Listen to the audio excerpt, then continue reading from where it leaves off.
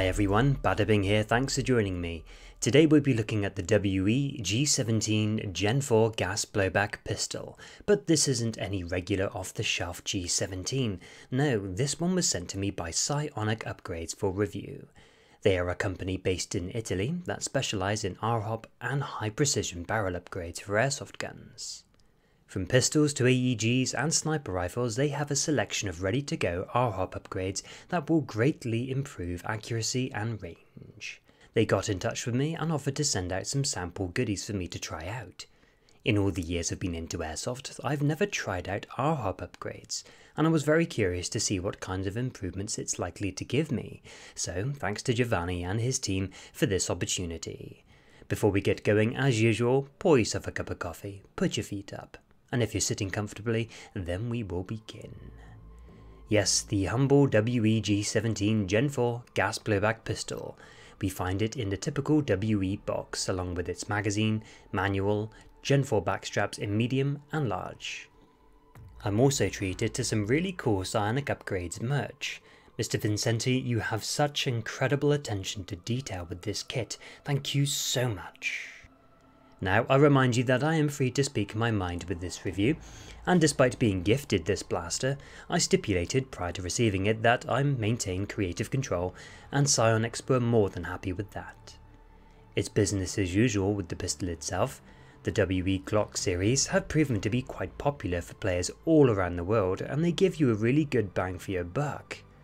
The stock pistols can be had for around £100, so it's an excellent entry level handgun for players with a small budget. For the price, the G17 is built very well indeed. The metal slide has some weight to it. Without the magazine installed, it's distinctively top heavy. The finish of the slide isn't anything special, you've only got to run it a few times and you'll soon see it wear away on the edges. Its lockup to the slide is rigid, there's no play, it's a solid block of metal and polymer. Speaking of the polymer, it feels excellent in hand.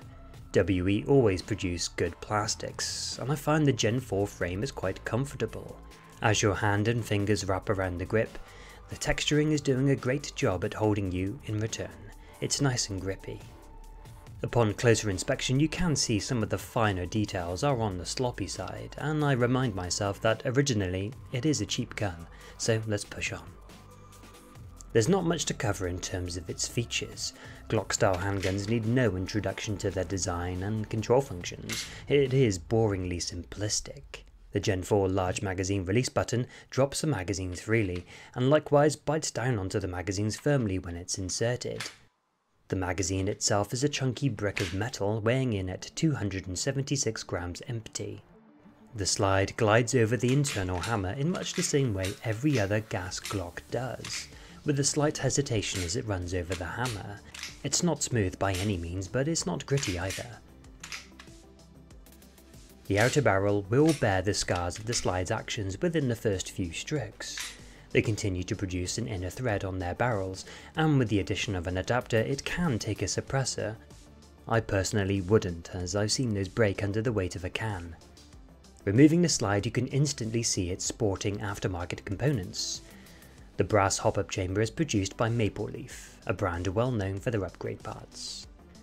At first they sent me an open cut design hop-up interfaced barrel, and throughout my initial round of testing it performed really well until I shot out the RHOP patch and snapped the hop-up adjuster.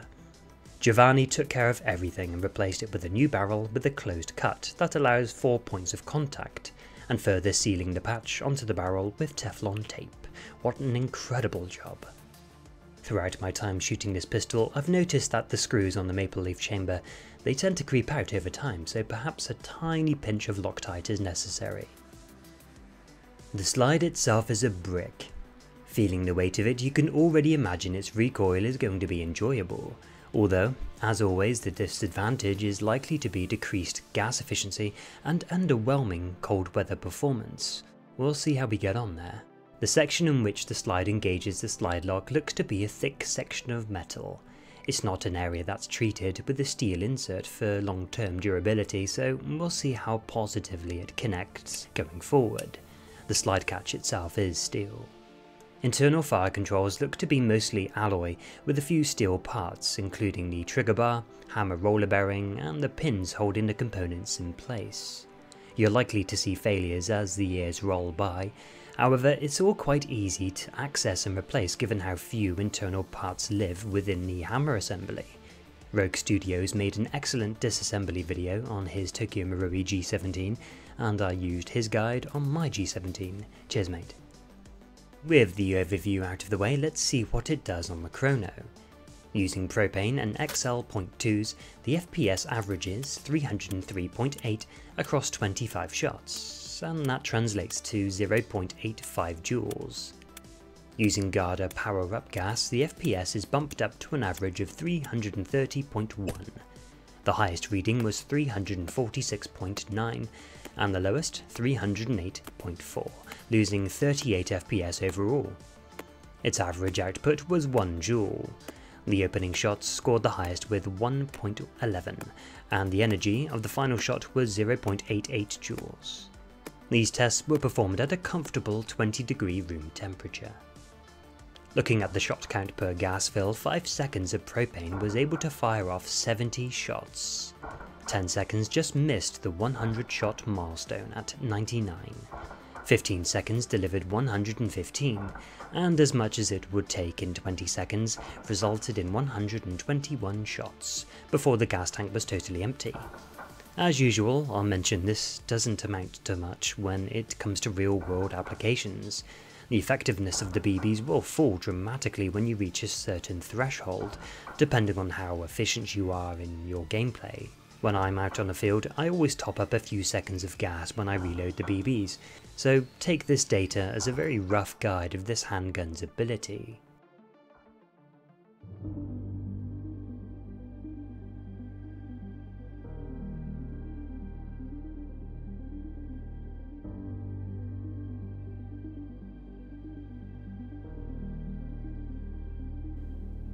What's it like to shoot?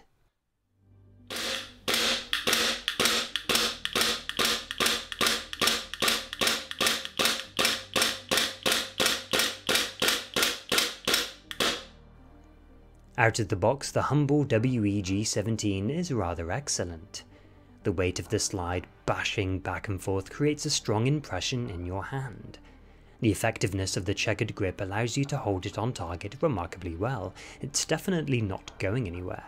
In comfortable conditions it empties its magazine without issue, and shoots the slide back to an abrupt stop with a positive snap. I can really see why it's chosen by many players for its responsiveness on top of its budget-friendly price tag.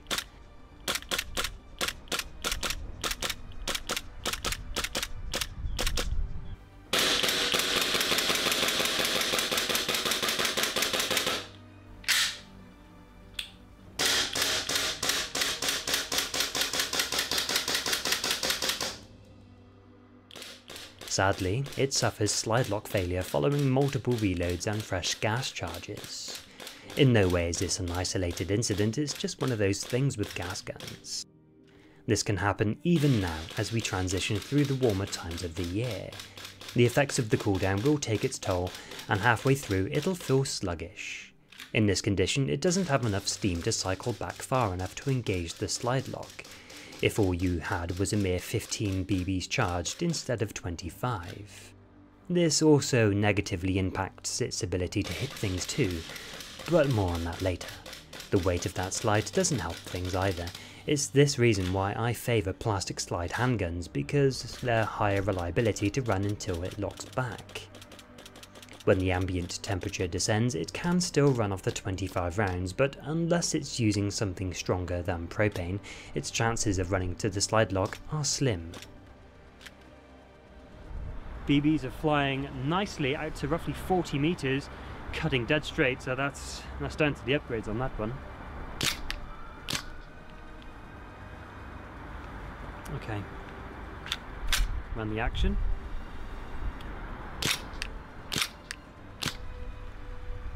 again running the action. It's getting caught up there on, the, on its travel. Uh, but the BB, surprisingly, they're flying out well around 40 meters, as I said.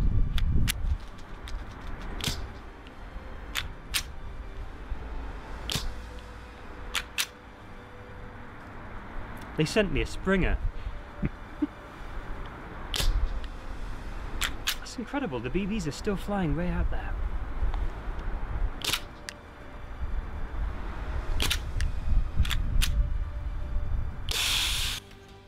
When it is cold, you'll be lucky if the slide travels back far enough to gain momentum to complete its journey, as it gets caught up midway. Then it's basically a Springer. Now, if I were using this at this point in game, I'd be embarrassed, and would be slaughtered. But at home with no one to see me, it's not so bad and it's actually quite funny. The trigger action is delightfully positive. There's a light take up right to the edge of the wall, and you can immediately feel it hit that wall. Finally squeezing past that stage is that crisp break. Super clean, super positive. The return journey is a short one, and you hear its tactile reset more than you feel it.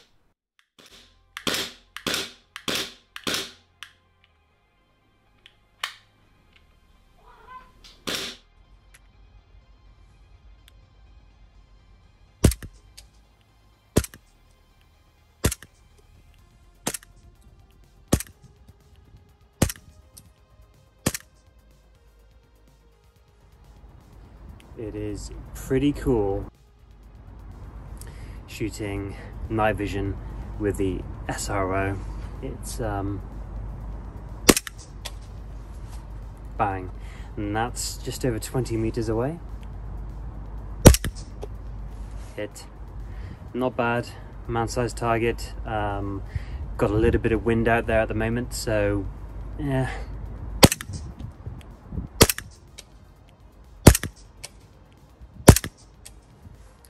dot uh, on the SRO, I am having to aim just a little bit uh, to the left because we got the wind coming left right, so I'm gonna have to aim just a little bit left to get it on target. There we go. thing. Boom. Oh yeah, shooting with my vision. It's awesome and they're not that noticeable on your face. With the R-Hop upgrades, it's time to see what it's like when delivering BBs. Giovanni recommended I use 3 2s up to 4s, and the chamber is capable of lifting 4s into orbit at the end of its adjustment, which it actually does very well. I think I got carried away with myself by launching 4 5s to begin with, so that's likely why I shot out the patch on the earlier barrel set. I decided to use my Trijicon SRO attached to my WeTech low profile RMR mount for the TM and WE Glock series because my eyes just could not focus on the irons like they used to. So I bolted the G17 onto the Northeast Airsoft tripod, so I did my best to eliminate myself from messing up the shots. The target was 20 meters away and I used three different weight BBs with Garda black gas. Firstly, Jeff Bio 3s found their way onto the paper with several flyers around the box. The impressions left weren't as compressed as I'd like. Here is the best I could put together within the weight category from my series of magazines.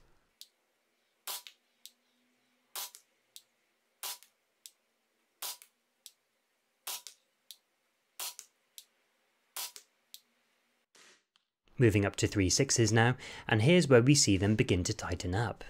Out of 25 shots, 18 were able to make holes on the page.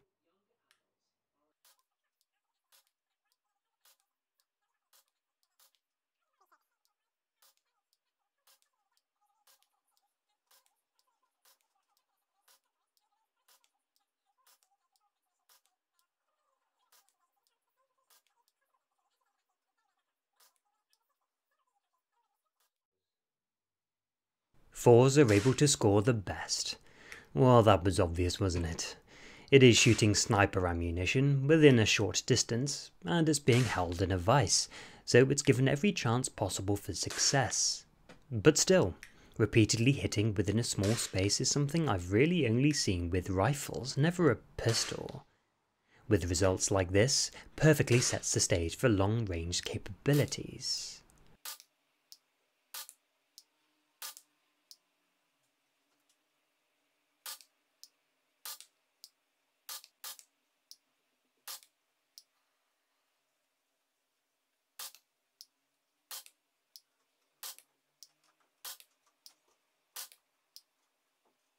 Over the past year, I've been plinking away sending three different weight BBs out to 40, 50, and 60 meters.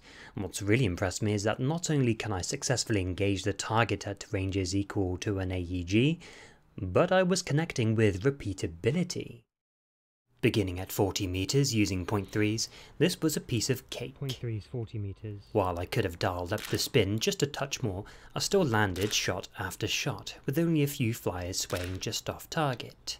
Note how straight the BBs travel in relation to where the dot is. They aren't straying too far away from the dot's longitudinal axis.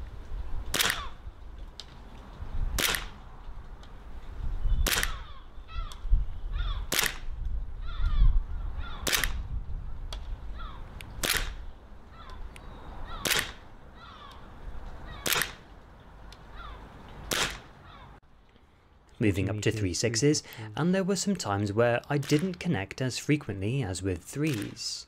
This is likely because I was using the same magazine after firing a series of tests with threes, and it was cooler than at the start. Regardless, you can see several shots land remarkably close to previous impacts.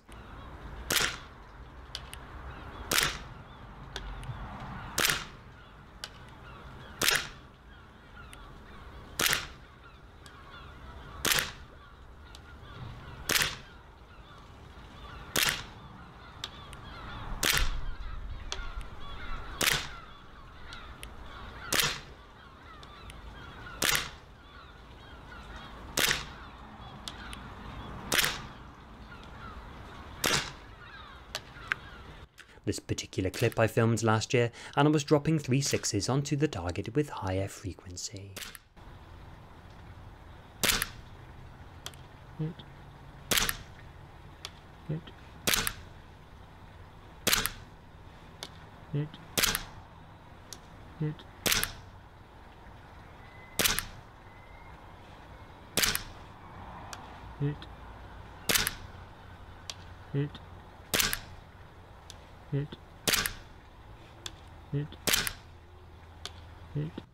Shooting fours, and it was just too easy, and it shows.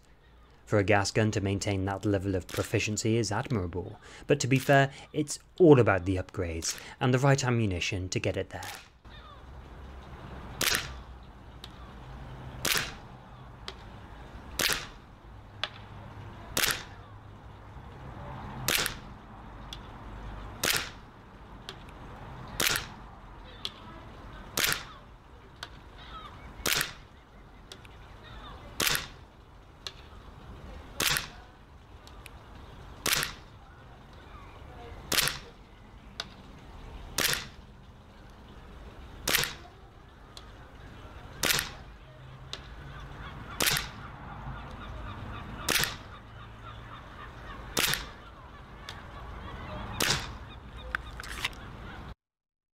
Pushing out to 50 metres now, and threes just didn't want to touch the target. In all the days I spent last year and this year launching threes, I don't think I ever had one connect. As you can see, they just float off or touch down prematurely.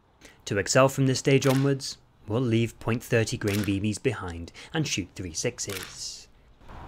Three sixes, 50 metres.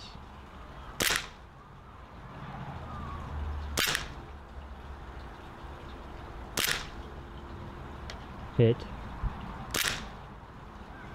hit, hit,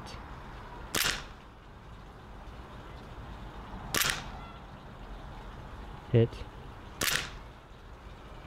hit. As you can see, I was giving the target a good slap hit. with the slightly heavier rounds at this distance, hit. and with good hit ratio as well, so I'm very pleased with how it's shooting so far.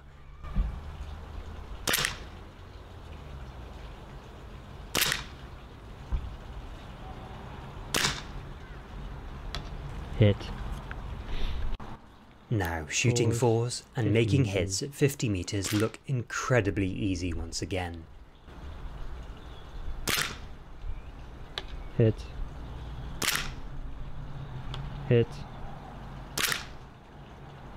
Hit. It's quite rare to have a day when my shots are not being disturbed by gusts of wind. But just look at that narrow trajectory of those BBs. Hit.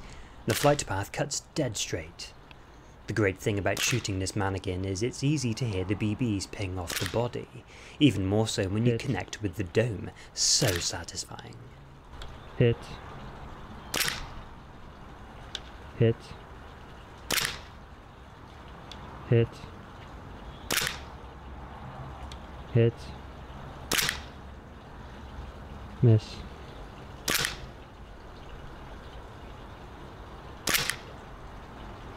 Hit.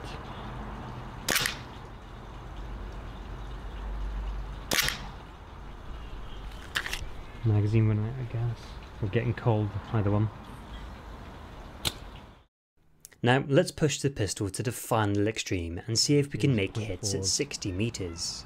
Shooting threes is like shooting a rainbow at 50 meters. Three sixes felt like that at 60, so I'm going straight for fours at this range. Hit.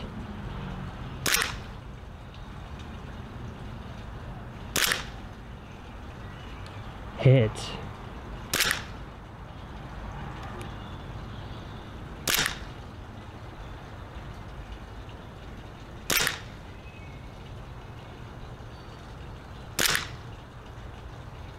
Hit.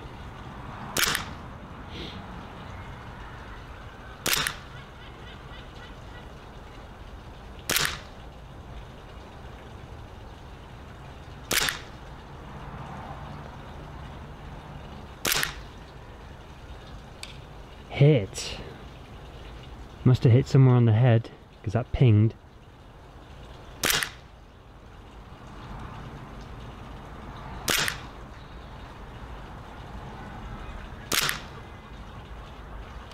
Hit. Center mass.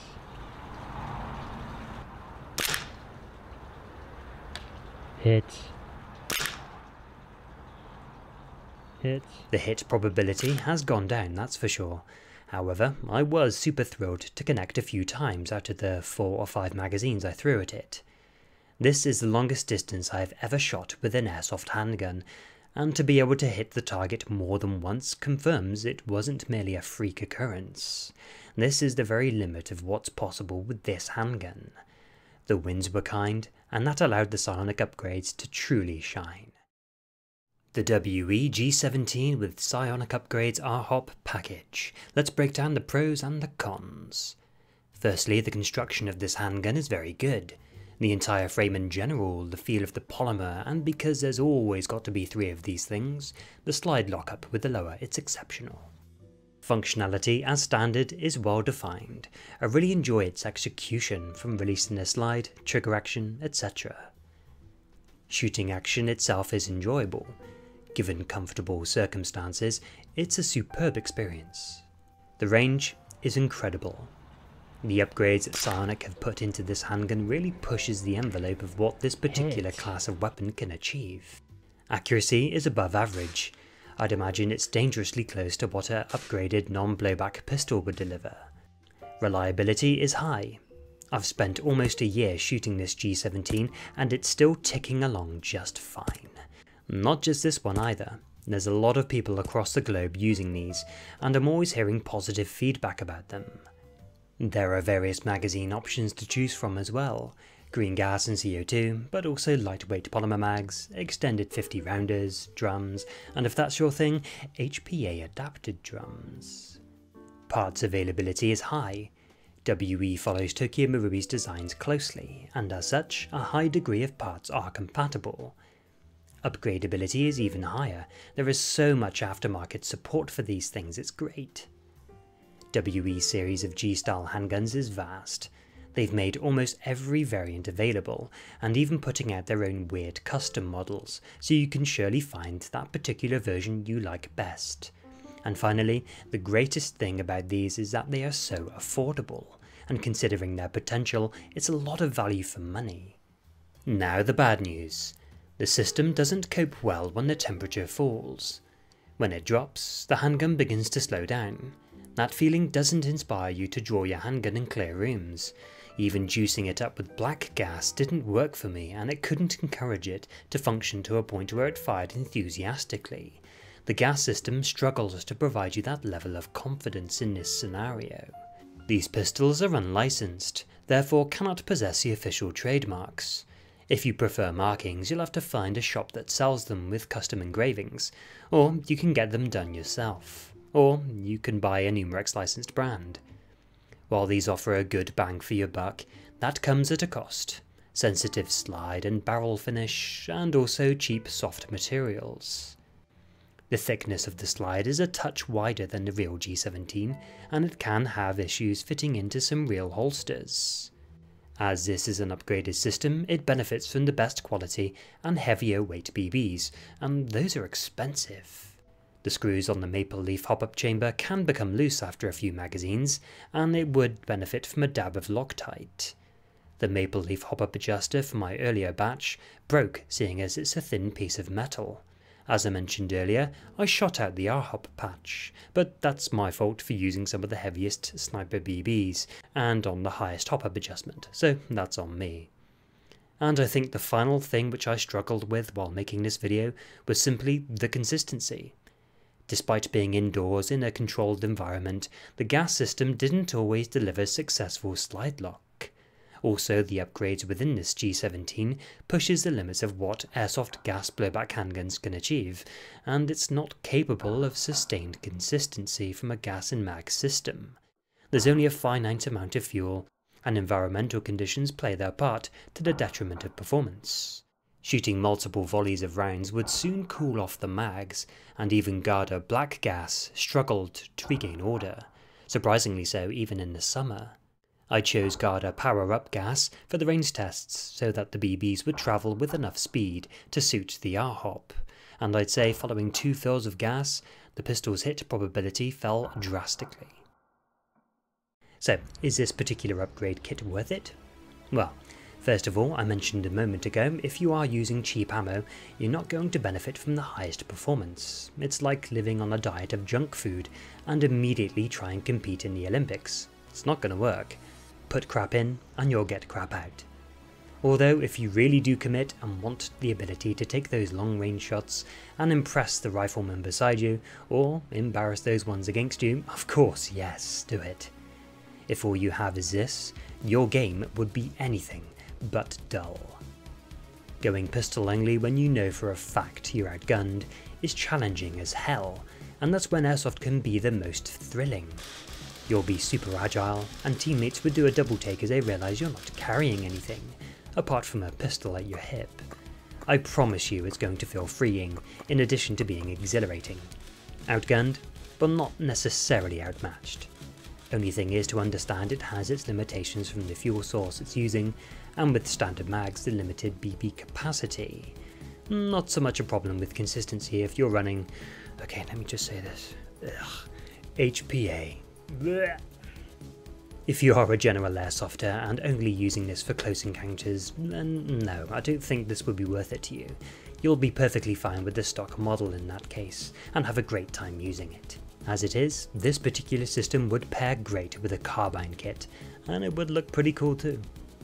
Following the evaluation period, I'm left impressed with the capability of this handgun, and I cannot wait to install the Psionic upgrade kit in my Tokyo Marui Scar, I'll look forward to seeing you there. Many thanks to Psionic Upgrades for sending me this handgun for review. The R-Hop upgrade is an incredible product, and what's more their service is outstanding, they really looked after me. If you are looking for a boost in accuracy and range, shoot them a message and see what they can do for you.